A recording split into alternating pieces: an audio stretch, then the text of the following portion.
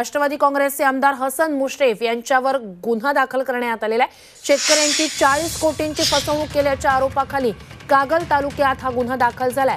सुडबुद्धीतून गुन्हा दाखल केल्याचा आरोप मुश्रेफ समर्थकांनी केलाय. या षडयंत्रामुळे कोल्हापुरात कायदा सुव्यवस्था बिघडल्यास सर्वस्वी जबाबदारी प्रशासनाची राहील असा इशारा मुश्रीफ समर्थकांनी दिला भाजप नेते किरीट सोमय्या यांनी मुश्रीफांवर आर्थिक घोटाळ्याचे आरोप केले तेव्हा कागलच्या काही शेतकऱ्यांनी मुश्रीफांकडून आर्थिक फसवणूक झाल्याची तक्रार सोमय्यांकडे केलेली होती आणि त्यानंतर मुश्रीफांवर गुन्हा दाखल करण्यात आला